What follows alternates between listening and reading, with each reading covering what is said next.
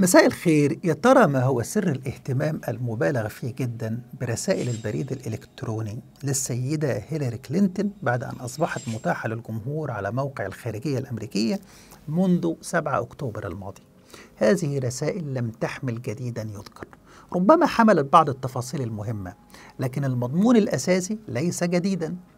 وأبرهن لكم على أن مضمون هذه الرسائل قديم ومعروف للقاسي والداني. وسائل الإعلام المختلفة ركزت على مجموعة من القضايا الرئيسية. واحد أنه الولايات المتحدة دعمت جماعة الإخوان المسلمين بعد ثورات الربيع العربي. اثنين أنه قطر لعبت دورا نشطا في محاولة للإطاحة ببعض الأنظمة العربية. ودفع جماعة الإخوان المسلمين لتحل محل هذه الأنظمة. واعتمدت في ذلك على وسيلتين الأول قناة الجزيرة والثاني يعني أموالهم الطائلة.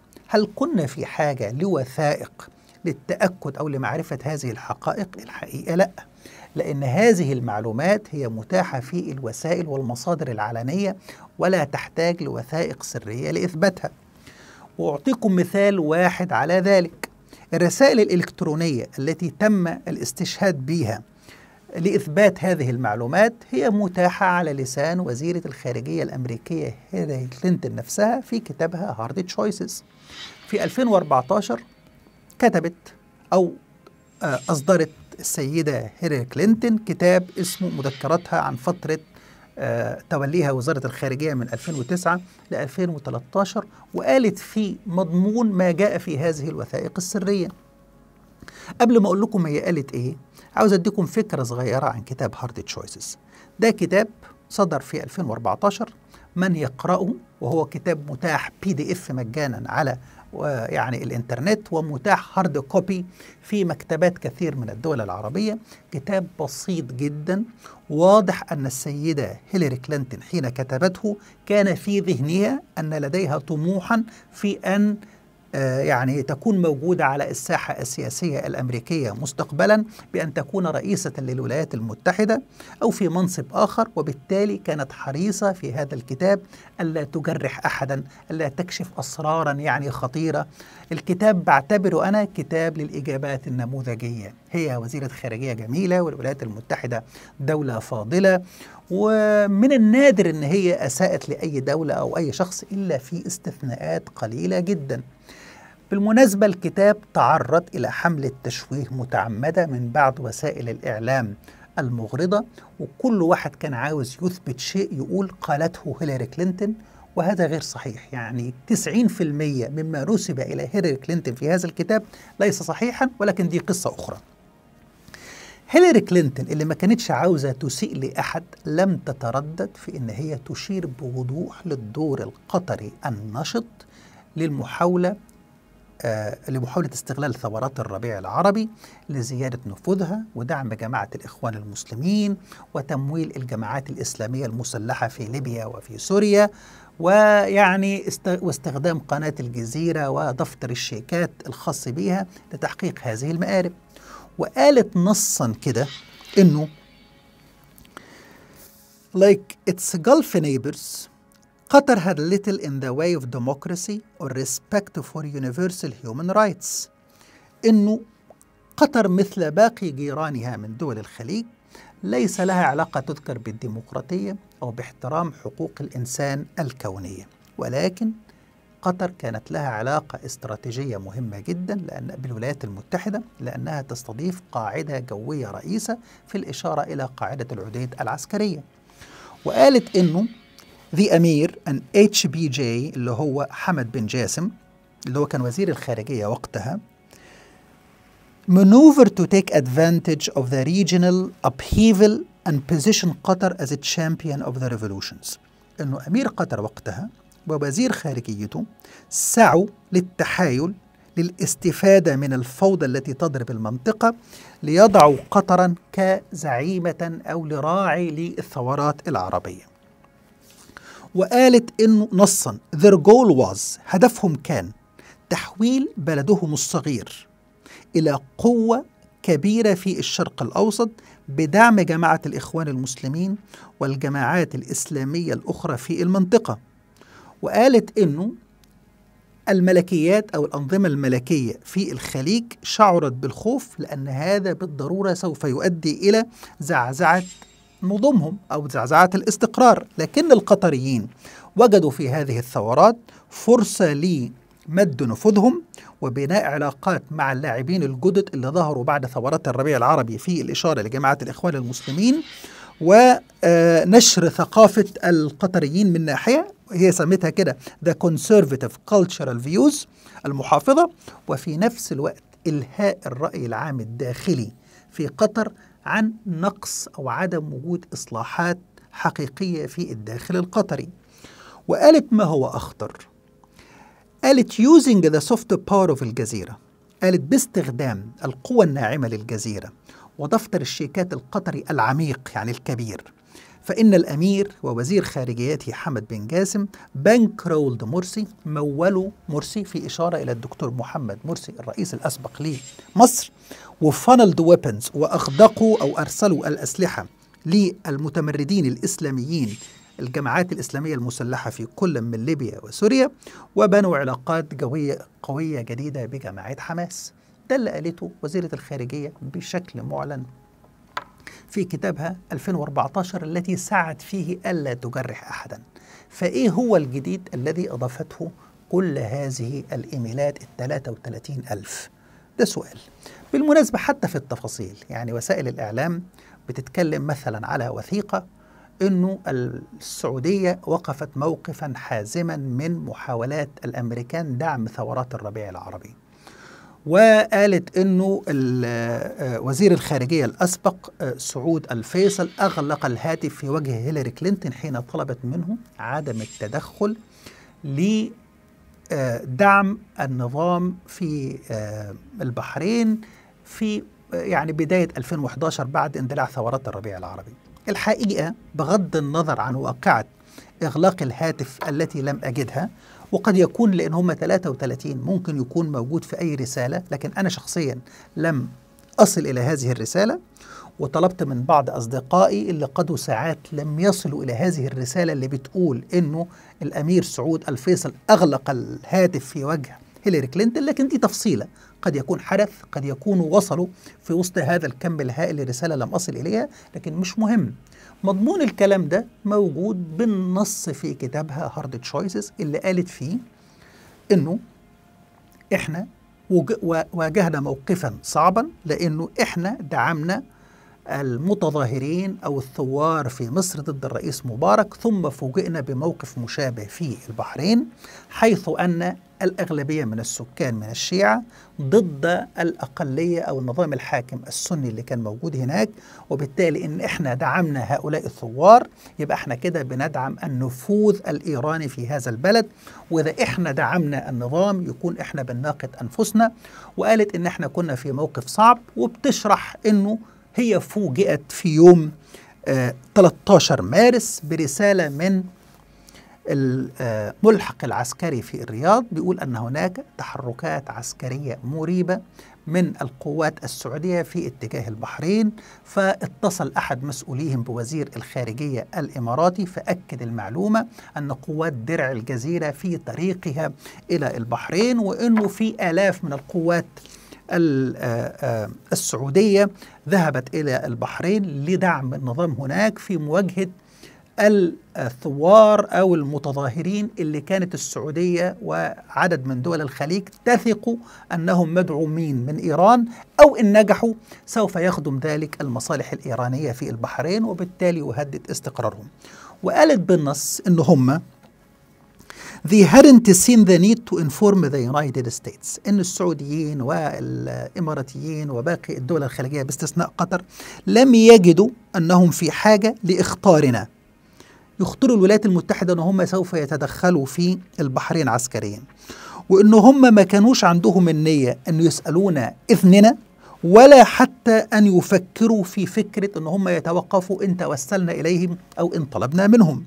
يعني كان السعودية والإمارات والكويت ويعني واخدين قرارهم بشكل حاسم إن هم يتدخلوا لن يطلبوا اذنا من الولايات المتحدة وإن طلبت منهم الولايات المتحدة فلن يستجيبوا وهو ده اللي حصل. أشارت إلى المكالمة بينها وبين الأمير سعود الفيصل رحمه الله وقالت له إن هي ادينا توقف بلاش ترسل هذه القوات ولو أجلها 24 ساعة فقط ادي فرصة للمفاوضات اللي كان بيشرف عليها دبلوماسي أمريكي في البحرين لكنها قالت أنه استمع إلى المكالمة وكان implacable implacable يعني إيه؟ يعني لم يظهر يعني أي قدر من المرونة في تقبل كلامي رفض تماما وقال لها بالنص كده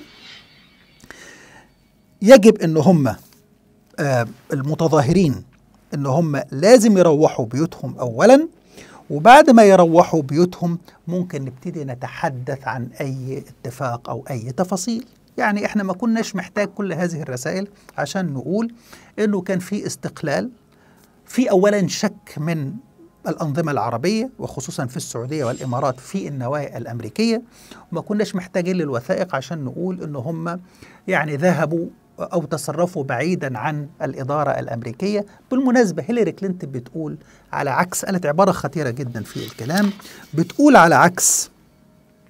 الاعتقاد الشائع في الش... الاعتقاد الشائع في الشرق الأوسط أن الولايات المتحدة has never been an all powerful puppet master. عمرها ما كانت يعني بتحرك عرائس في الشرق الأوسط ولا عمرها كانت قادرة على عكس ما الناس بيعتقدوا أن هي بتحقق أي نتيجة هي بترغبها.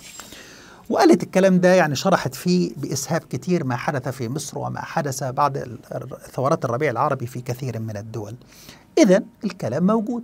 وحتى وقعة التليفون التي لم أجدها فيما يتعلق بالأمير سعود الفيصل وجدت واحدة مشابهة فيما يتعلق بوزير الخارجية الإماراتي عبد الله النهيان اللي قالت إن أنا كلمته علشان أطلب منه إنه يعني يساعدنا في التدخل في ليبيا لأن هم كانوا خايفين. في 12 مارس كانت جامعة الدول العربية طلبت تدخل الأمم المتحدة علشان تفرض منطقة حظر جوي على نظام القذافي حماية للمتظاهرين. وبالتالي كانت الولايات المتحدة والدول الغربية مش عاوزة تتدخل في ليبيا إلا بعد أن تتدخل معها الدول العربية وقالت بالنص إن أنا بعد أفغانستان وبعد العراق مش عاوزة صورتنا تكون إن إحنا we, we, we had launched another western intervention intervention in a Muslim country. مش عاوز أبان كأننا إحنا بنشن عملية عسكرية مرة أخرى على دولة إسلامية ونجد نفسنا في يعني حالة عداء لا ينتهي. كنا عاوزين نبقى مع دول عربية وإسلامية أخرى علشان ما نواجهش برفض أو تبقى في موجة كراهية لينا كقوة احتلال. لكن فوجئت هي أنه بعد ما اتكلمت مع وزير الخارجية الإماراتي إن هي حست إن هي بتتكلم ثم في مرحلة صمت طويل ثم مات الخط وقالت هل إحنا وصلنا إلى هذا المرحلة؟ يعني في إشارة له إنه يبدو إنه ترك الخط. ولما رجع الخط قالت له أنت سامعني وبعدين ضحك وقال لها إن إحنا مش هنتدخل في ليبيا طالما أنت ما بتدعميش موقفنا في البحرين. وبعدين طلبت إن هي تعدل موقفها بحيث إنه يكون متوازن في البحرين. وفي مقابل إنه الدول العربية تساعدها في التدخل في ليبيا يعني لو كان يعني ما فيش أوضح من كده الكلام واضح وسهل اللي عاوز أقوله حتى لو اطيل عليكم إنه ما جاء في هذه الوثائق لم يكن يحتاج إلى يعني آه يعني ما جاء في الوثائق لم يكن يحتاج إلى وثائق سرية لتؤكده. القضية الرئيسية إن فكرة إن الولايات المتحدة دعمت جماعة الإخوان المسلمين قصة قتلت بحثا وأعتقد أن أفضل ما يعبر عن موقف الولايات المتحدة بهدوء هو وثيقة بي اس دي 11 أو الأمر التنفيذي للرئيس أوباما اللي كان بيتعلق بإصلاحات الشرق الأوسط. أنا شرحته بالتفصيل الممل في حلقة تحمل هذا الاسم خايف أن أنا أعيده علشان ما يكونش اختصار مخل لكن لمن لم يشاهد الحلقة وأستأذنكم أن تشاهدوها. موقف إدارة أوباما كان باختصار شديد جدا. من أغسطس 2010 أنه كان بيعتقد أن في أنظمة عربية سوف تسقط وكانت منها النظام في مصر.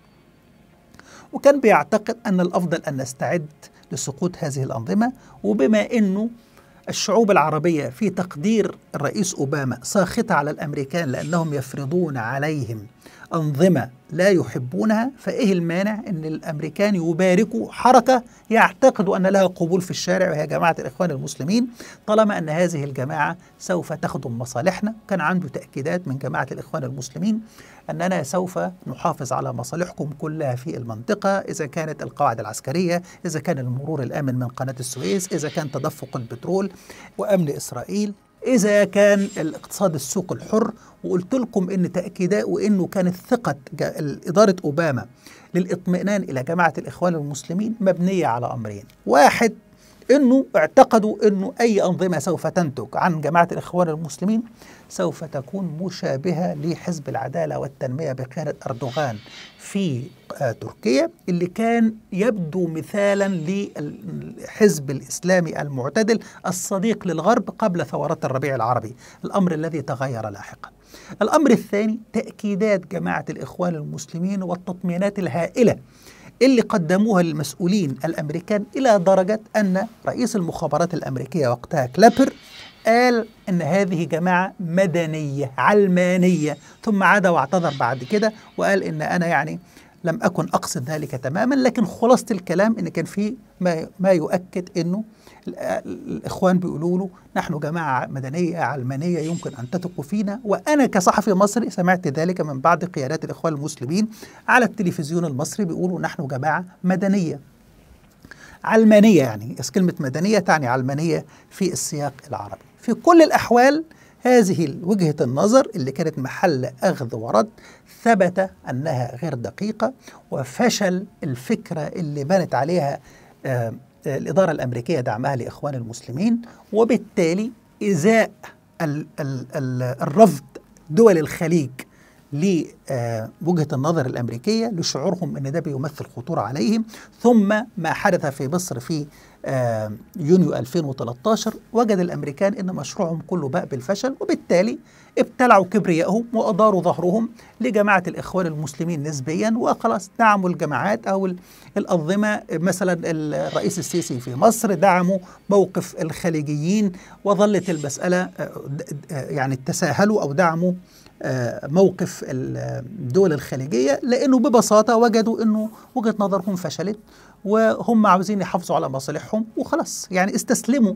استسلم الرئيس أوباما وأقطاب إدارته اللي كانوا مختلفين أصلا على نهجه للمستجدات الجديدة وانتهت المسألة. لا أكثر وليس أقل. أستأذنكم أن تشاهدوا الحلقة. يبقى السؤال الأهم.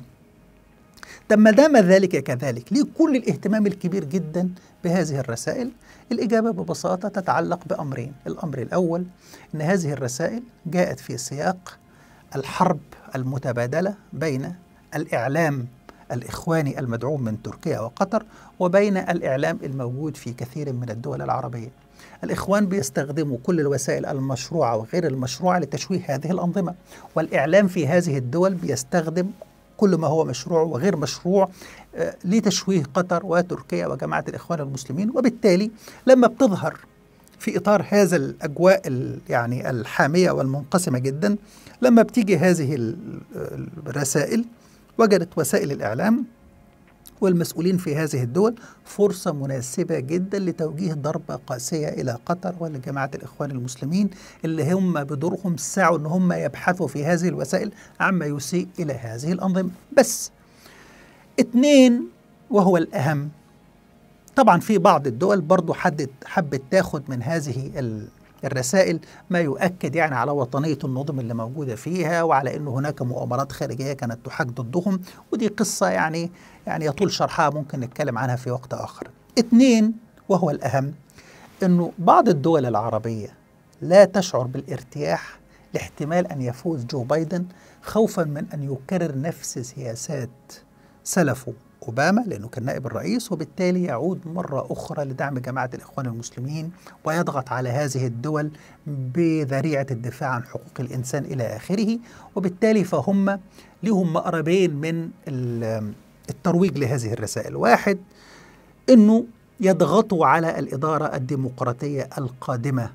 ضغطا عنيفا بالتأكيد على ان هم لن يكونوا مستعدين أو لن يقبلوا باستمرار أو باستئناف ما فعله أوباما بداية من 2010 ل 2013 مرة أخرى.